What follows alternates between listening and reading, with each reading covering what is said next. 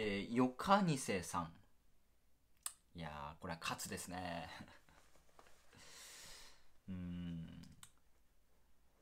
まあこれはね、うん、まあ正直、まあよかにせさんにしか まあわからないことなんで、まあ僕があだこうだ言うとこではないんですけど、自分がその、なんだ、人のことになると動きが早いけど自分だと動けないと。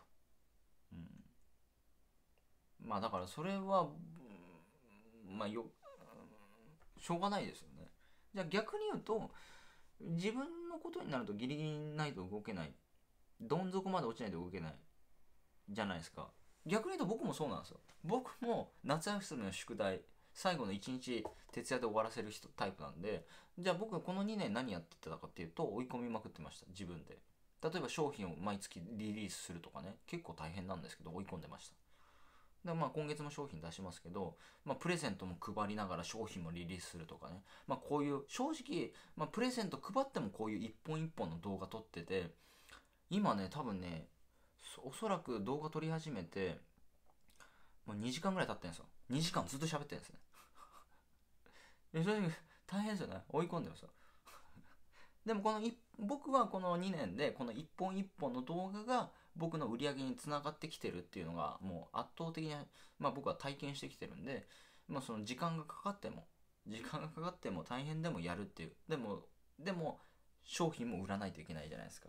でまた僕新しいこと熟成さんと新しい YouTube チャンネルとかやって収録とかもしてるんで結構パツパツですけど追い込んでるんですよ。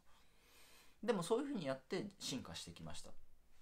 うんだから追い込めばいいんじゃないですかだから追い込むって別にそのなんだろうなうん単純で商品売りますとか、なんかプレゼント、だから商品売れないんだったら最初プレゼント配ればいいじゃないですか。要はプレゼントも受け取ってもらえなくて商品買うわけないじゃないですか。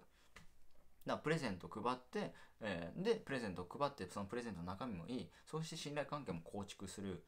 で、動画も添えるとかね。プレゼントも配りながら。らプレゼントの広告動画も撮りながら。プレゼントも用意してプラスプレゼントに申請してくれた人に一人一人アドバイスするみたいなね。でさらにそれをやりながら商品も売るし 何？新しい YouTube チャンネルやるみたいな。大変ですよ。だからもうプレゼントね正直プレゼントの方が応募多いじゃないですか。そりゃそうですよね。だからあの大変なんですよ僕も。動画一本一本添えてるんで。ねプレゼントね別に自動返信メールで配ったらもう余裕ですよ。自動返信メールでプレゼントだけ配るのは余裕ですよ。でもそれは誰でもできることじゃないですか。それは誰も誰でもできることを誰もがやらないレベルでやるってことも大事なんですけど誰もがやらないことをやるっていうことも大事なんですよ。誰もがやらないことを誰もがやらないレベルでやるみたいな。わかります？誰もがやらないですよね。一人一人一本ずつこうこうやるとか。誰もやらないですよ。でもそれも誰もやらないことを誰もやらないレベルでやるみたいな。それは結果出る出やすいよねって話で。うん、まあこれはもう自分でそのコミットしてどんどんどんどんその告知してってこうやっていくってことは大事なんじゃないですかね。うん、まあもしそれそれができないんだったらダブルワークするしかないですよね。まあそれは自分の人生ですから自分で決めるしかないと思うんで、まあ、自分でそこは決めていきましょう。そこは僕が決めるとこでもないですし自分がどうするのかって話ですから。うんただ僕自身も動けない人間です。だから僕はこうやってますっていうことをシェアするしかことしかできないんですけど。うん。はい。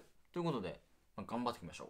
はい。プレゼントの方もお配りしますんで、メールの方で記載してますんで、ただ、多分昔見てると思いますよ。